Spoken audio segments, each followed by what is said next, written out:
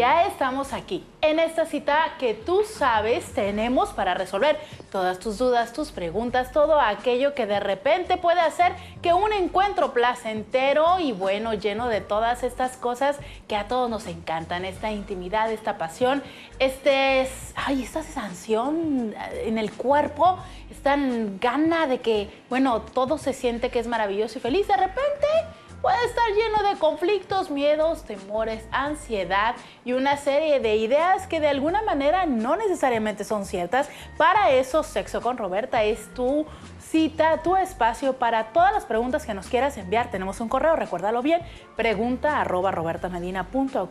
También te esperamos en Facebook a través de facebook.com diagonal sex.roberta y en YouTube, por favor, déjanos tus comentarios y tus preguntas. Nuestro canal de youtube.com diagonal Roberta Medina. Ahí están todos estos programas esperando para ti. Y bueno, el día de hoy, dándonos cuenta que la verdad es que a veces un solo segmento para responder las preguntas no son suficientes. Estos minutos, casi 15 minutos para responder preguntas, la verdad es que la mayoría de las veces se nos quedan cortas. Por eso dedicamos el programa del día de hoy para responder dudas, preguntas. A veces nos mandan bueno, toda la historia de lo que ha sucedido y en otros momentos no los hemos podido leer al aire para eso, el programa de hoy estará dedicado a atender todas estas preguntas que tenemos pendientes. La realidad es que nos faltan muchísimas, pero seguimos recibiendo tus preguntas a través de nuestro correo pregunta Y bueno, para asegurarnos, para hacer de esto el mejor esfuerzo para que tú puedas tener las respuestas a tu pregunta y que de alguna manera también aquí en Sexo con Roberta tenemos la mejor intención de darte el remedio y el trapito. Ya lo decían las abuelitas, ¿no? Así más o menos iba el dicho, pues bueno, esa es la intención de nosotros. Entonces para eso hemos invitado de nueva cuenta a quien siempre es un placer compartir aquí en Sexo con Roberta, al doctor Jesús Madrigal, quien ya ha estado con nosotros y que bueno, ahora estará ayudándonos con toda esta parte de lo médico, porque por supuesto que no podemos negar que nuestro cuerpo también enferma. Hoy contestaremos todas sus preguntas. Jesús, muchas gracias por estar acá de nueva cuenta con nosotros. Roberta, Buenas noches, un placer de, nuevo compartir contigo este espacio y sobre todo con las personas que nos estén mirando en este momento. Y, y ante todo, que esperamos después de los consejos que reciban en este programa, pues los apliquen de inmediato. Exacto, y sabes que la verdad eh, es, es, cierto lo que tú dices, ¿no? Es muy padre darnos cuenta que hay personas que nos ven porque nos mandan sus preguntas y para nosotros es importante atenderlas. Algunas les decía yo que son un poquito largas y por eso en otros momentos no las hemos podido leer, pero hoy tenemos todo este programa para contestar preguntas. Claro que también viene nuestra sección que tanto les gusta, pero antes atendamos algunas de esas preguntas. La primera dice así, es un chavo y él nos dice, tengo ya casi seis meses que no hago el amor con mi pareja. Bueno, es que ella me lastimó en muchos puntos de la sexualidad. Me decía cada que peleábamos que pues ni que lo tuvieras tan bueno, ¿no? Esas palabras me lastimaban y pasaban muchas cosas. La engañé para comprobar y me encantó hacerlo con una chica y más chica que yo. Claro, ella casada de edad de 21 años, yo tengo 34 años, tengo dos meses que ya no estoy con esa chica y estoy únicamente con mi pareja. Y me duele cuando ella me pide que lo hagamos y yo la verdad no siento y no tengo ni erección. Pero en cambio veo a mi vecina y con el hecho de verla sí tengo erección. Bueno, Jesús, tú como hombre, ¿qué, le dirías a este chavo que nos consulta de 34 años, seis meses sin tener relaciones sexuales con su esposa? La parte más lamentable es, esto que se generó en ellos como pareja y, que ella empezó a agredirlo, seguramente por otras cuestiones de índole diversa a lo sexual, precisamente tratando de lastimar, eh, bueno, además uno de los pilares de los hombres, ¿no? Ya lo hemos dicho en muchas ocasiones, el pilar sexual y el pilar económico sobre el cual construimos nuestra masculinidad. Eso dio pie a que él, en bueno, en primera sí le afectó, evidentemente, la mayoría de los hombres son sensibles, eh, son vulnerables a, eh, a los cuestionamientos sexuales. Que la tienes chiquita, que no sabes usarla, que no me, no me eh, haces llegar al orgasmo o no me satisfaces, cosas por el estilo, ¿no? Y bueno, lo que ahí pasa una situación muy, mucho, muy interesante que tal vez tú no la vas a poder ampliar mejor. Resulta que hay ocasiones, sucede, no es tan frecuente, pero sí a, algunos hombres, que el, el, bloqueo emocional para con una persona en particular este, les produce falta de erección. Por el contrario, cuando existe ese, ese vínculo erótico con otra persona sí existe eh, sin ninguna dificultad la erección.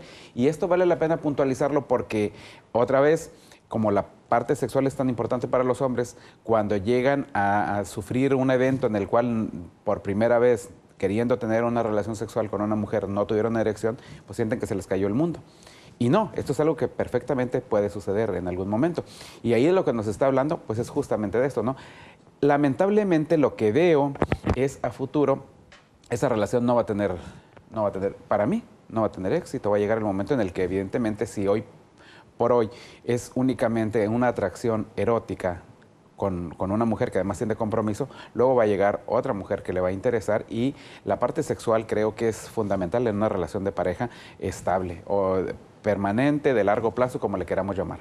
Y creo que algo que es muy importante es, sí, efectivamente, darnos cuenta cómo es que la relación se empieza a deteriorar en este sentido con tu eh, pareja y que de alguna manera no lograron hacer lo necesario para que se pudiera aclarar estos malentendidos y esta forma de estarse lastimando. Obvio, es tu momento de estar ahora como saldando las cuentas pendientes y lo haces también a través de la sexualidad. Y en ese sentido es importante darte cuenta, bueno, no, no tienes ningún problema de erección, al menos por lo que tú dices, porque bueno, la vecina la verdad es que se te antoja, ¿no? Y la otra chica también. Entonces, muy posiblemente lo que tengan es problemas de pareja. Y en ese sentido lo que siempre será conveniente es acérquense con un terapeuta de parejas, idealmente con un terapeuta sexual, para que de alguna manera pueda ayudarles a ya sea encontrar el punto de coincidencia donde puedan volverse a reencontrar y reconstruir este erotismo que estando tan presente el dolor y el haberse lastimado tanto, pues obvio que aplasta el erotismo y eso pues no se antoja, ¿no? Entonces, en la manera en la que vayan siendo capaces de resolver estos problemas,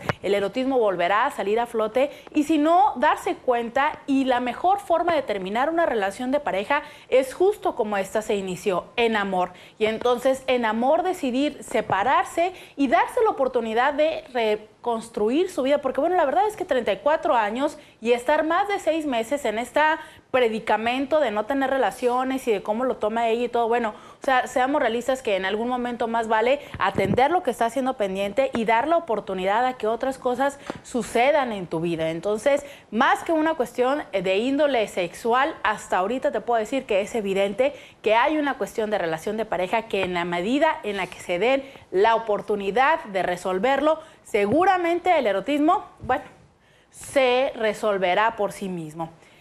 Alguien nos pregunta, es una mujer, y nos pregunta cuál es el aseo requerido, entre comillas, después de tener relaciones sexuales. ¿Qué dicen los médicos? El aseo requerido es el habitual, o sea, no hay que hacer más allá que lo que sería, eh, en este caso, por ejemplo, un regaderazo y es todo. No, no se remite a más nada que esto.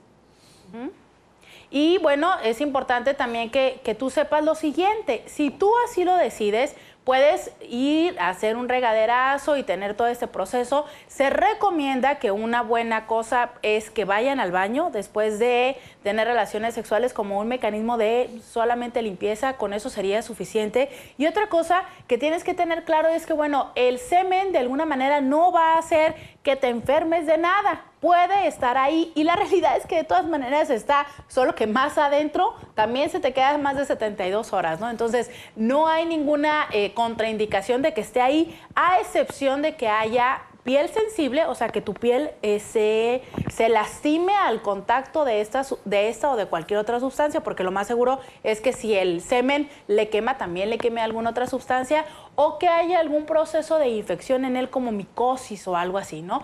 Si no sucede esto, bueno, tú no te preocupes, realmente no tienes que hacer nada, puedes quedarse perfectamente dormidos y bueno, ya al día siguiente cuando les toque el baño, pues ya, hasta lo comparten, ¿no? Sí, por supuesto.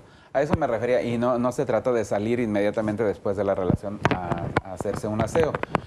como tú bien lo mencionas, cuando llega a suceder que esto es durante la noche, pues perfectamente hasta el día siguiente. Sin embargo, es, ahí, ahí habemos muchos mañaneros, entonces yo a los mañaneros les recomiendo antes y después. Y con esa recomendación nos vamos a una pausa comercial, pero ya volvemos con más Sexo con Roberta.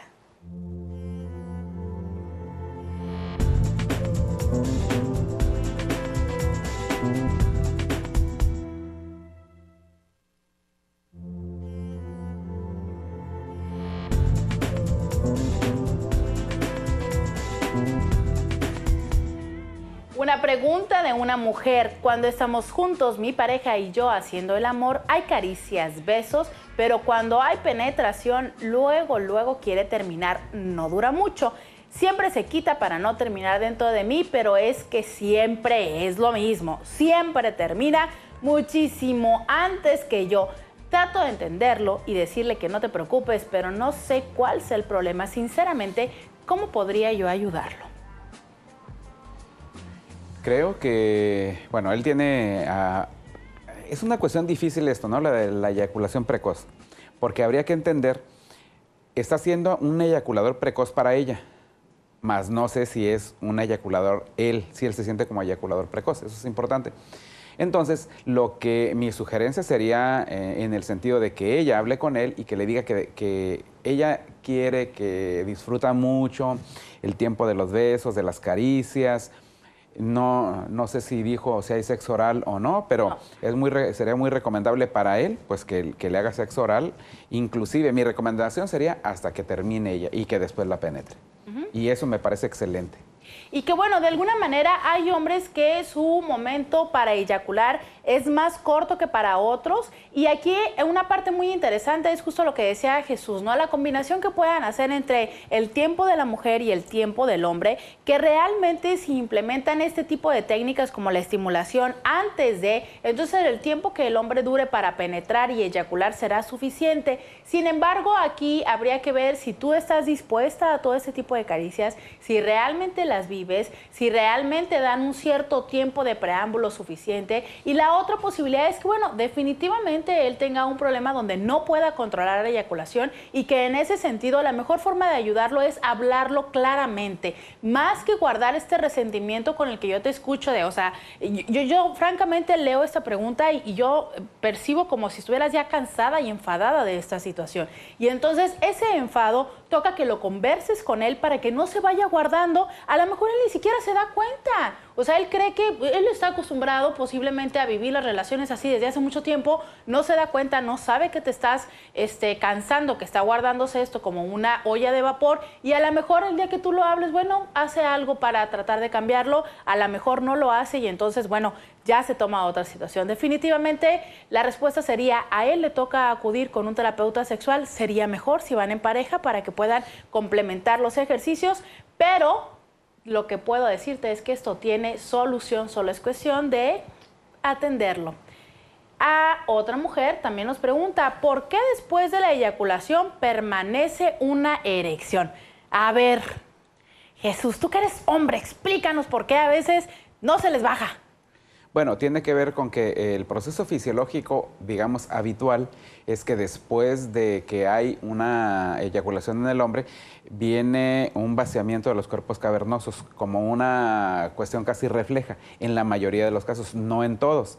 Luego entonces es una variante que tiene que ver eh, con las diferencias de un hombre para con otro, pero también es, va muy de la mano con la cuestión de, de la estimulación que le produce una mujer en particular a un hombre. Y aquí quiero puntualizar algo sumamente importante. Uno de los errores mayores que percibo en las mujeres eh, es el, pensar que otra mujer es más atractiva que ella, cuando no se trata de, cuestiones eh, predefinidas, sino son cuestiones individuales. Para un hombre, una mujer puede estar menos agraciada físicamente que otra y sin embargo esta producirle un mayor nivel de excitación erótica. Y eso puede ser eh, la causa de que, de que siga la, erección, porque él, este hombre es, tal el, el placer que está sintiendo que lo quiere prolongar. Y puede, porque habrá quien no. Claro, y esa parte me parece muy interesante. Mira, la realidad es que según dicen los estudios, aproximadamente en el 50% de los casos o el 50% de los hombres después de eyacular pierden la erección. Sin embargo, el tiempo que transcurre para que puedan volver a obtener otra erección es realmente muy corto conforme son más jóvenes, entre la adolescencia, los 20 años, ¿no? Este tiempo se va prolongando conforme ellos van creciendo y entonces toma más tiempo que puedan obtener otra erección. En ese sentido es, bueno, si el chavo, nosotros realmente no sabemos cuántos años tengan ustedes, pero es muy posible que sean muy jóvenes y entonces lo que pasa es que rápidamente puede reincorporarse y continuar con la actividad. No significa que su eyaculación, pero sobre todo su orgasmo no haya sido placentero solo significa que, bueno, goza de tremendamente buena salud, buen estado físico, una este, condición física muy fuerte y, bueno, por supuesto, puede continuar. Y la realidad es que ahí no hay ningún problema, a excepción de que tú ya no quieras. Y, bueno, un poquito más de estimulación y una muy gran cantidad de disposición seguramente les llevará a más orgasmos compartidos y sobre todo a la capacidad de poder disfrutar de esto que, bueno, lamentablemente va a terminar conforme vaya llegando la edad. Otra mujer nos pregunta, solo he tenido orgasmos estimulando el clítoris, pero cuando termino me da un dolor muy fuerte en el vientre. ¿Es normal? Mm, habría que ver fisiológicamente, yo no encuentro ninguna relación salvo que hubiera en su caso alguna infección, sobre todo a nivel de trompas, pero sería muy difícil que únicamente se manifestara esto post eh, orgasmo. Entonces, ahí yo pensaría que tal vez exista alguna cuestión de índole emocional, que tal vez tú, no sé si tengas algún referente, que haya al, que el orgasmo le haga ligar alguna experiencia pasada que evidentemente fue traumática y que por eso te, lo, lo esté somatizando de esta manera. Y puede ser esto, puede ser una mala experiencia, un recuerdo de una mala experiencia, pero te voy a comentar lo siguiente. Tú dices que tienes un dolor muy fuerte en el vientre, ¿sabes? Eh, conforme van teniendo el proceso de respuesta a tu cuerpo para prepararse para el momento del orgasmo, el útero, que regularmente está en esta forma, se endereza un poco, se verticaliza para poder favorecer la entrada del semen y que se dé toda la parte de la fecundación y todo esto. Bueno, este útero, por supuesto que también ha estado estimulado y todo lo de adentro se hincha de sangre, afortunadamente lo que incrementa la sensación. Eso es lo que muy posiblemente tú estés percibiendo, este útero que ha modificado su forma, pero la realidad es que no pasa nada.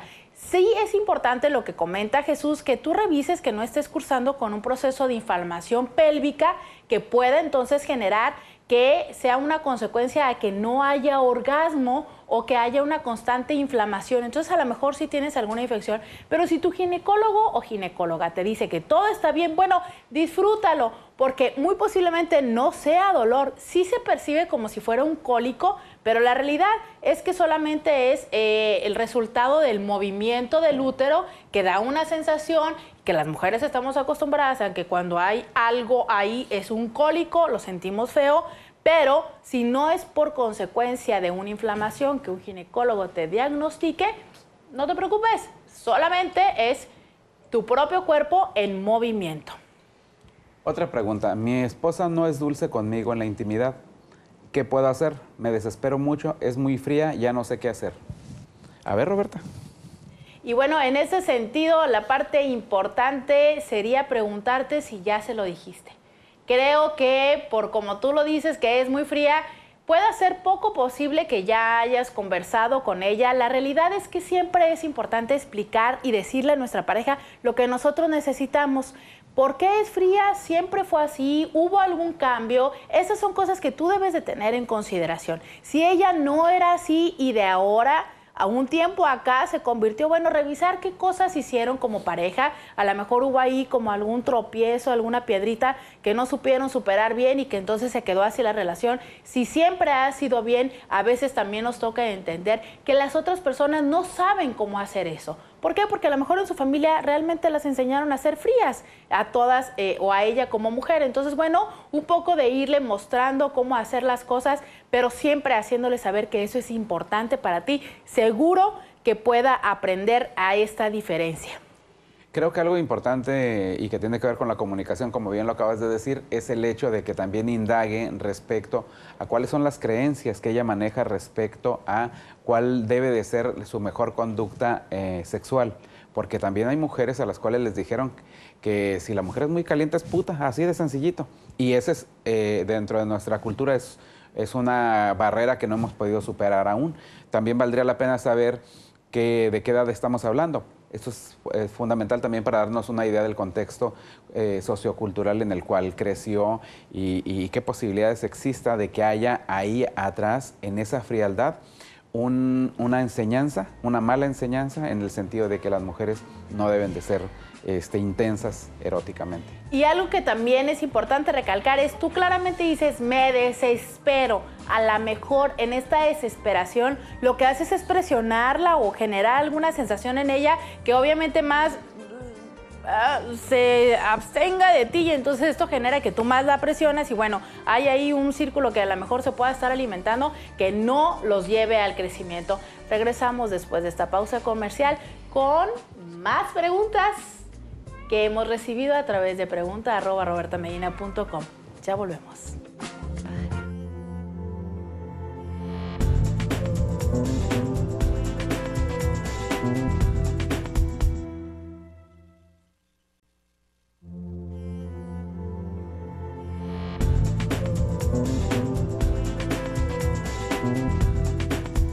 Ya estamos aquí de regreso con más preguntas. Una mujer nos dice, Tuve relaciones un día antes de mi periodo, esto fue hace un mes. ¿Puedo quedar embarazada? Bueno, yo me imagino que aquí vamos a asumir que fue sin condón, ¿verdad? Digo.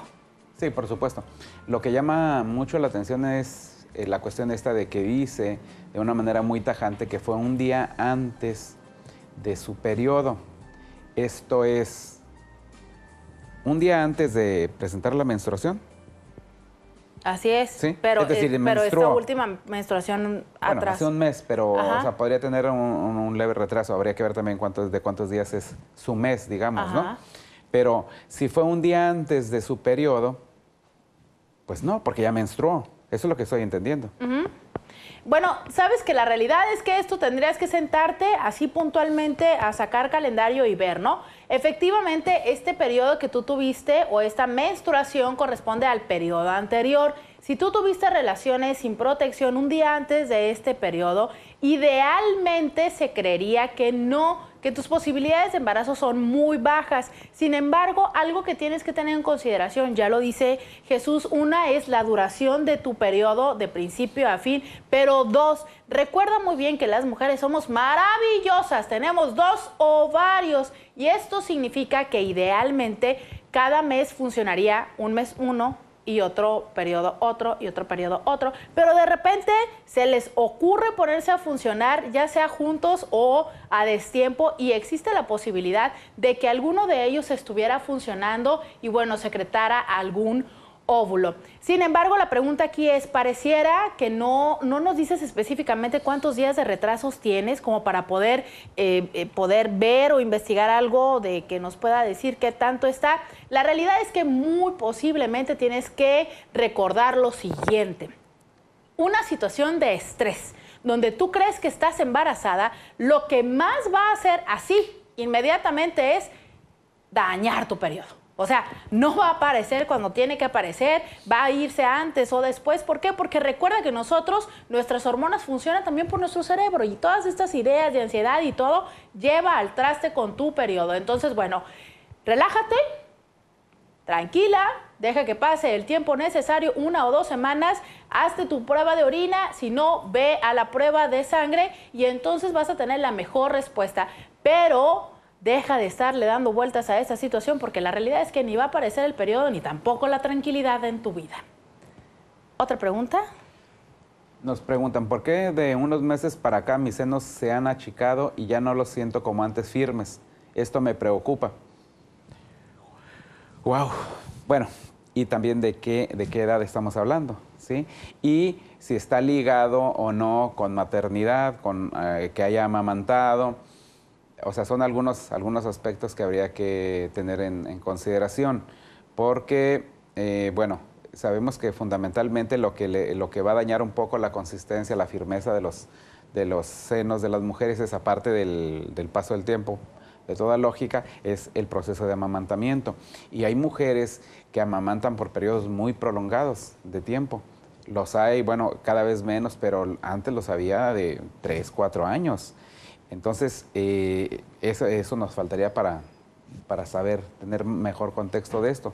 Pero por ahí seguramente va, ¿no? Y la realidad es que, mira, los pechos en general cambian su tamaño por dos temas, ¿no? Y no soy ginecóloga, pero yo te voy a decir, una tiene que ver con cuestiones hormonales, ya sea el embarazo, la lactancia, este, empezaste o dejaste las pastillas anticonceptivas y hubo un cambio en tus mamas, como el caso anterior, de repente andas en, en alguna situación que empieza a generarte mucho estrés y entonces tus hormonas y tu ciclo, bueno, se va al carajo, ¿no? Esa es una. La otra, pues aumento y disminución de peso. Si tú perdiste peso, obvio, las mamas, mucha de su parte tiene que ver con grasa. Entonces, si perdiste peso, pues se te hacen más chiquitas. Y si se te hacen chiquitas, pues obvio que van a perder firmeza. Entre más grandes y así este, intensamente llenas estén y en tus mejores periodos hormonales, este, más van a estar turgentes y obviamente bajas de peso y pues obviamente pues es como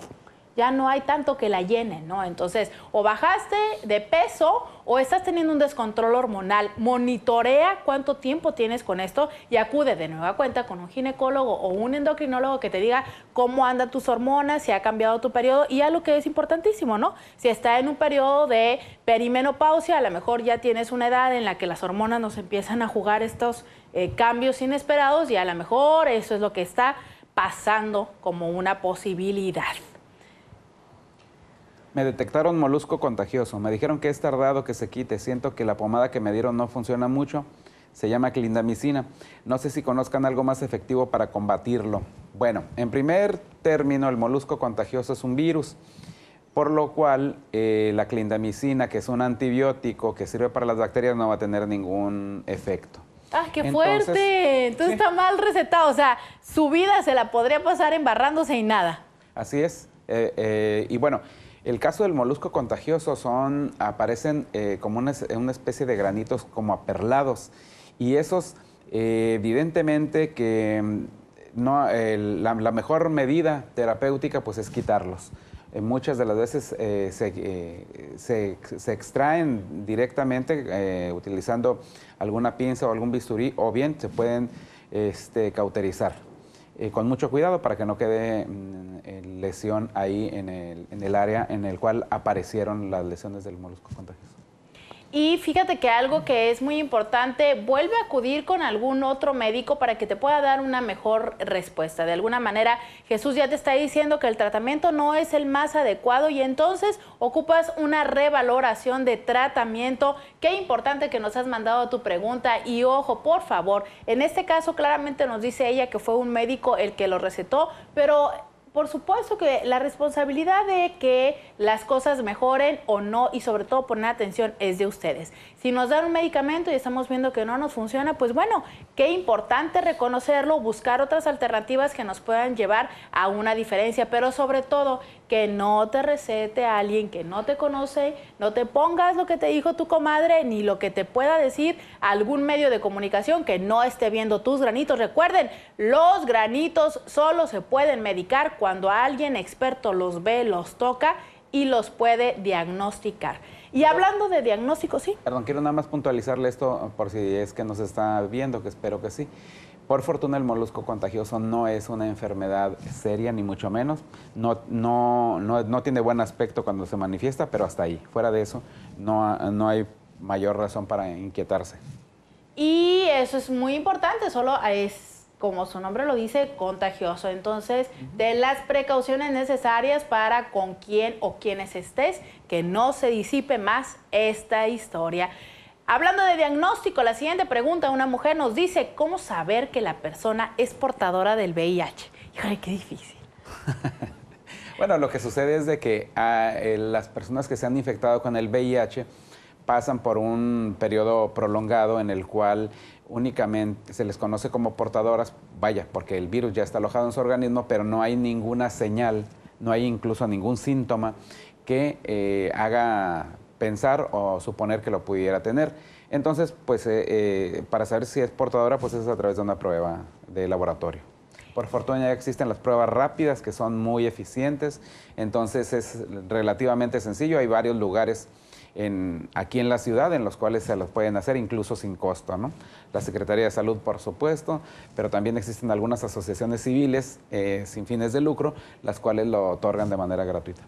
Y la realidad, yo te puedo decir, la única forma para saber que alguien tenga el virus del VIH exceptuando los casos ya súper extremos donde los efectos que ha tenido su cuerpo son tan evidentes que la verdad es que la mayoría ya están a punto de morir. Entonces, bueno, pero en todo el 98% restante de los casos, la única forma de saberlo es a través de un examen de sangre. El virus del VIH no se ve, las personas no presentan cambios, por lo cual es tan importante asegurarse de que la persona con la que estés, sobre todo si están decidiendo tener relaciones sexuales sin condón, hayan pasado por un proceso de revisión de laboratorio a través de sangre, ya sea en el dedo, como le decía, las pruebas rápidas, en la, en la boca, hay diferentes formas y pruebas, pero la realidad es que nunca vas a poderlo ver porque es un virus. Entonces, si están tomando esta decisión con toda responsabilidad, acudan a servicios gratuitos o de costo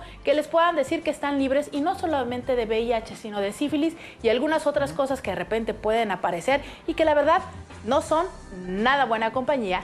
Ya volvemos.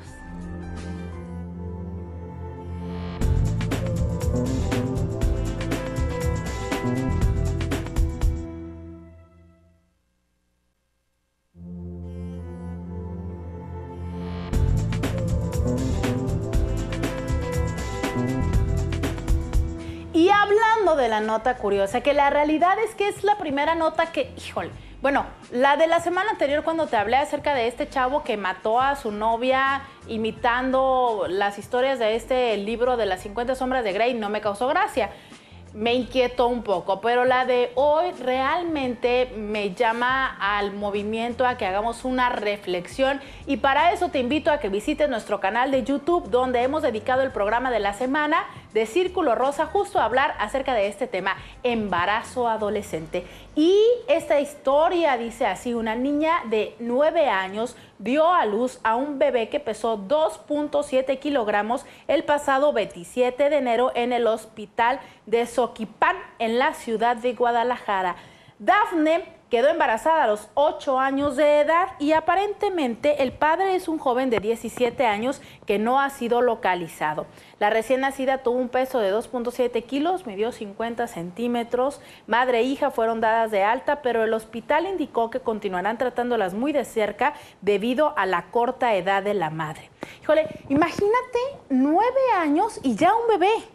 O sea, ¿Qué, condición de posibilidad de atender a un bebé? Y bueno, podemos entender por lo poco que se ha sabido de este caso, a pesar de que sucedió en enero, que fue quizá un proceso de seducción ¿no? de un chavo de 17 años, pero la realidad es que hay mucho que hacer como padres, como familia, como sociedad. Aquí está la invitación. Esto realmente es, eh, no quiero decir dañar, pero sí impactar dos o tres vidas al menos que tendríamos que hacer lo posible por evitarlo.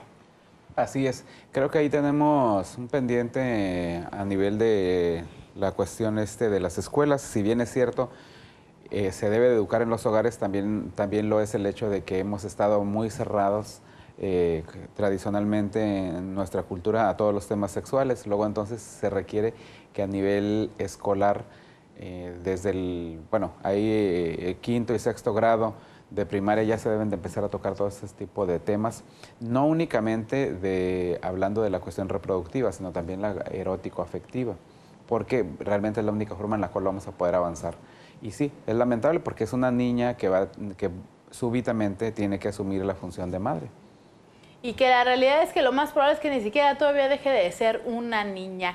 Y bueno, Esa es la noticia de la semana. Vuelvo a decirte, te invito a ver el programa que hemos dedicado acerca de embarazo en la adolescencia. Posiblemente después lo retomemos aquí en Sexo con Roberta. Por lo pronto, acude a nuestro canal de YouTube, youtube.com, diagonal Roberta Medina, donde puedes reproducirlo. También queremos que reproduzcas lo siguiente, que es la posición de la semana.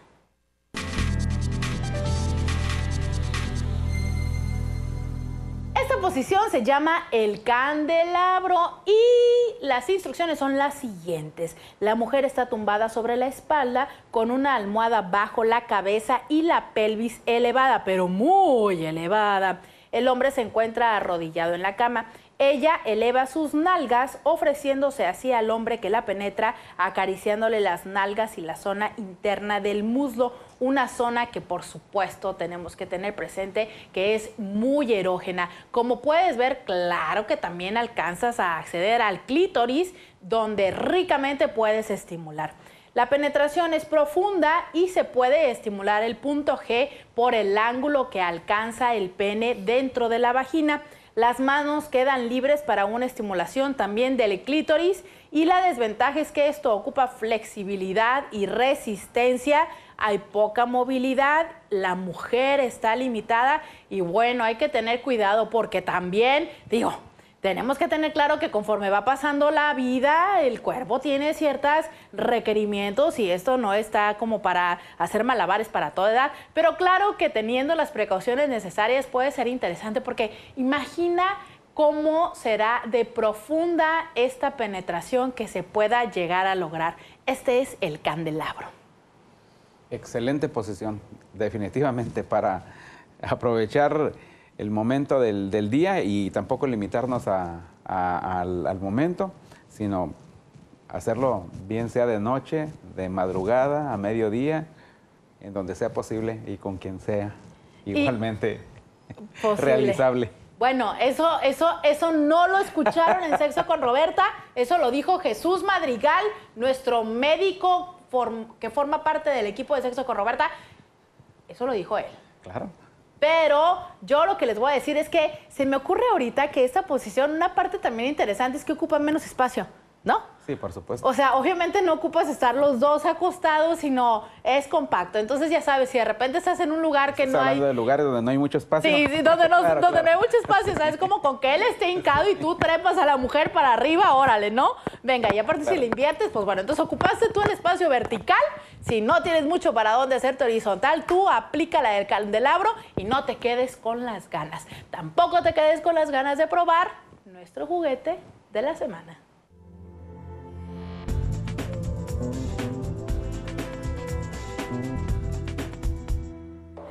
Y este juguete, la verdad a mí me encanta. Digo, no soy fan de Alicia en el País de las Maravillas, conozco muchísimas personas que lo son, pero este gato, que toda la vida tenía una sonrisa así, literalmente de oreja a oreja durante el cuento de Alicia en el País de las Maravillas, ahora es un vibrador. Así es, es un juguete inspirado en esta literatura, este vibrador ofrece una estimulación intensa, es muy suave, mira por acá puedes verle la cara, es mucho, muy suave y de alguna manera tiene este, 10 velocidades que como tú puedes ver está el foco que te va indicando todas las diferentes velocidades que tiene.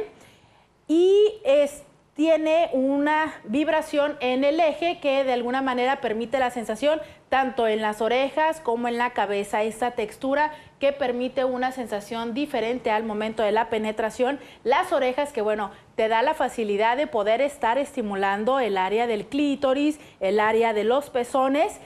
10 modelos diferentes de vibración, resiste al agua, se ve por aquí la carita, resiste al agua, es un tacto muy, muy padre. Mira, me encanta porque la forma en la que viene hecho es así como en un librito, también este, sirve de estuche, aquí lo puedes guardar para acá.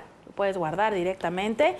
Tiene su cubierta. Y bueno, la verdad es que está súper mono. Es todo aparte en concepto Muy padre la textura, el color es ligero, es muy práctico, 10 vibraciones diferentes y bueno, puede servir por fuera para estimular, para penetrar y es un juguete que no solamente puede darte sensaciones, sino tiene todo un concepto y un cuento detrás. Si te gusta Alicia en el País de las Maravillas, si te divertía ese gato, imagínate sentir a ese gato. ¿Sabes bien? Que si lo buscas en Lo Boutique, pero sobre todo si dices que lo viste en Sexo con Roberta, vas a obtener un descuento. Ve a Lo Boutique en cualquiera de sus tres ubicaciones, La Vía Rápida, Otay o Rosarito, pero sobre todo no olvides decir que lo viste en Sexo con Roberta, porque para este juguete o para cualquier cosa que haya en la tienda que tú quieras comprar, obtendrás el 15% de descuento. Di que lo viste en sexo con Roberta. ¿Te gusta nuestro gato? Me parece que es un muy buen regalo, sin duda alguna. Y está lindo, o sea, la verdad me encanta, me encanta, me encanta, porque tiene todo este concepto, la caja, o sea, tiene muchos detalles y bueno, aparte de que es mi color favorito, la textura del silicón es maravillosa y es todo un concepto, todo un cuento que puedes crear de sensaciones. Recuerda, di que lo viste en Sexo con Roberta, no pierdas la oportunidad de tu super descuento. Ve a la tienda y también ve por lápiz y papel, o bueno, más bien saca tu smartphone a estas alturas, ¿verdad? ¿Quién, quién trae lápiz y papel? Porque necesitas anotar la tarea de la semana.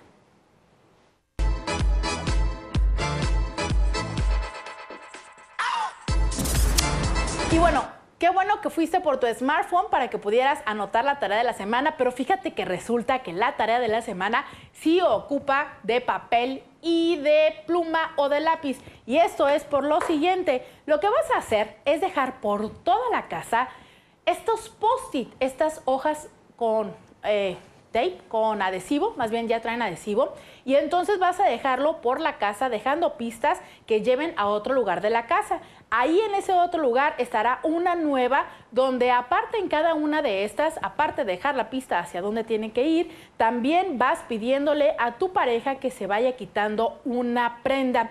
En el último post-it dejas una caja con ropa interior sexy y que le dices que la esperas en tal lugar para que te haga, uff, y ahí es importante que le describas todo lo que se te antoja.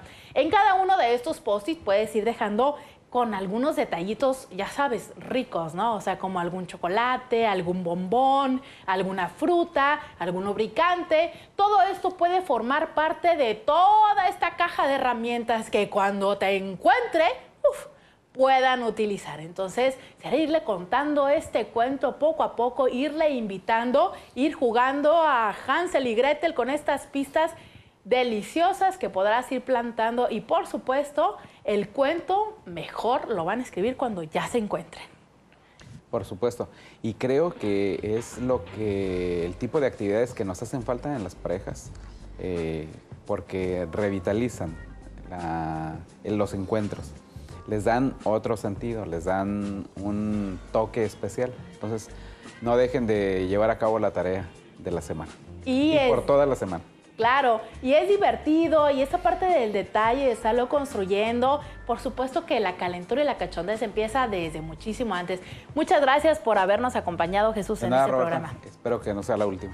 Claro que no, vamos a estar en algún otro momento también dando atención a todas sus preguntas. Esperamos a través de Facebook, facebook.com, diagonal sex.roberta y también esperamos que acudas a Enríquez Hair Studio Salón. Ellos se encuentran ubicados enfrente del hipódromo y bueno, ellos son quien semana a semana patrocinan y me acompañan en este proceso y me chiquean desde muy temprano maquillaje, peinado, ahí en Enríquez Hair Salón Studio, un cambio de imagen, ahí es el lugar donde debes ir. 608 4251 es el teléfono a marcar y buscarnos en youtube.com diagonal Roberta Medina es tu tarea para que veas todos nuestros programas, para que por favor nos dejes tus comentarios en YouTube. Queremos saber qué te parece nuestro programa a través de Facebook, seguirte escuchando, pero lo sabes bien, cada fin de semana a las 11 de la noche, esta cita tienes que atender Sexo con Roberta. Roberta Medina, psicóloga, sexóloga y terapeuta sexual, se despide de ti agradeciendo que hayas estado aquí cada noche para tener sexo con Roberta. Hasta pronto.